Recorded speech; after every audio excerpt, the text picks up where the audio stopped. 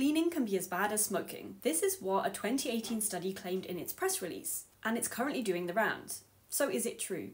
Researchers followed over 6,000 people for around 20 years, and they found that women who clean regularly, whether at home or professionally, experienced a much faster decline in lung function compared to women who didn't. But the study didn't say that cleaning is literally as harmful overall as smoking. There's some nuance needed here. It found that women who regularly cleaned had a rate of lung function decline that is similar to that seen in smokers over 20 years.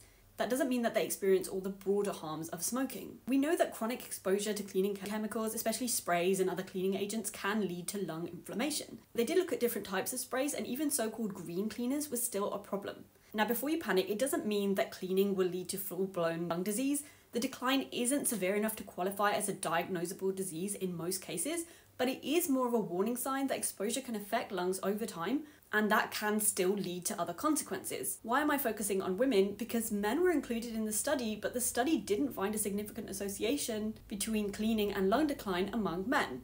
And no one really knows why. Also, there are some important caveats about this study. The comparison group was very small and their cleaning habits varied. There were also other factors like ventilation, lifestyle, and other exposures, so the results weren't universal. What we really need is more research. And I think it's telling that more research hasn't been done into this as the researchers called for it back in 2018. And ideally, we want to understand these health impacts so that we can inform and warn people, especially women. In the meantime, next time you clean, you can take some precautions.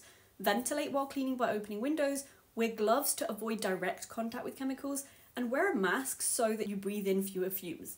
Or if you're really worried, just stick to microfiber cloths and hot soapy water. And if you're in a position to, push for more research into this area because it is desperately needed.